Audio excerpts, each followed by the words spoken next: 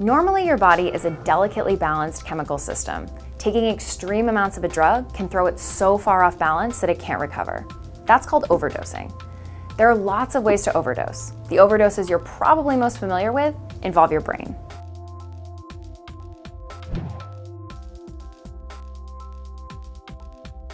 Your body uses chemicals called neurotransmitters to send messages like, move your hand or keep pumping blood.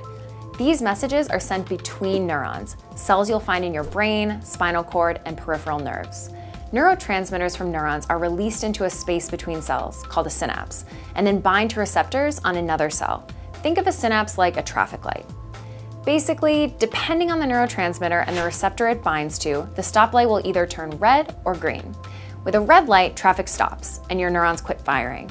When the light turns green, traffic moves full speed ahead and the neuron fires, sending a chemical message like muscle, contract.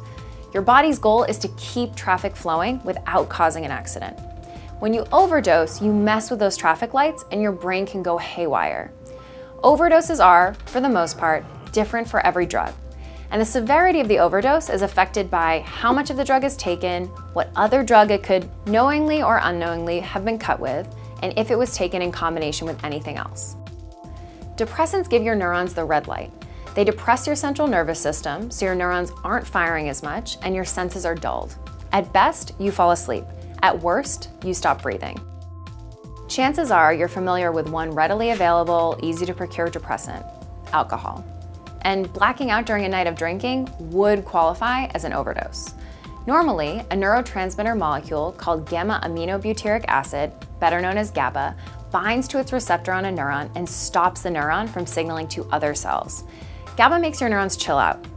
Alcohol molecules can do a bunch of things, and one of those things is binding to GABA receptors, so they're getting that stoplight even more often, and your brain slows way down. When there's too much alcohol in someone's bloodstream, they become dehydrated and can lose consciousness.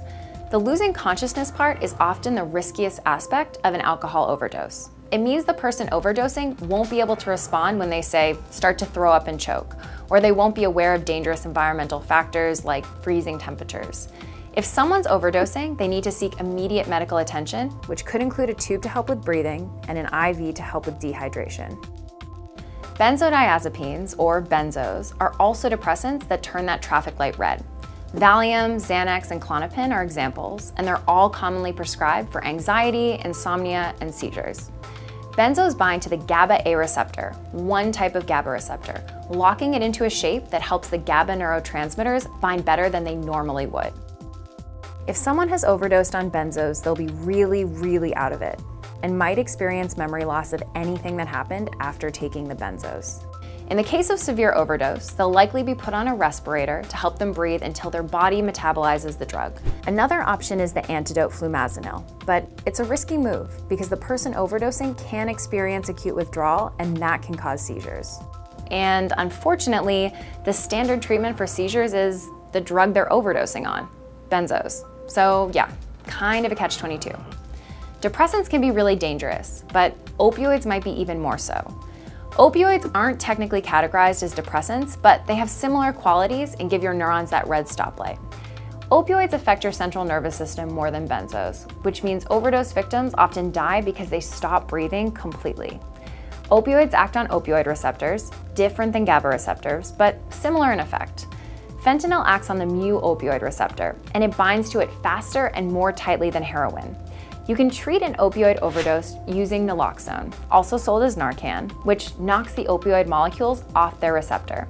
In rare cases, giving a large dose of naloxone to someone who's overdosed can cause severe withdrawal.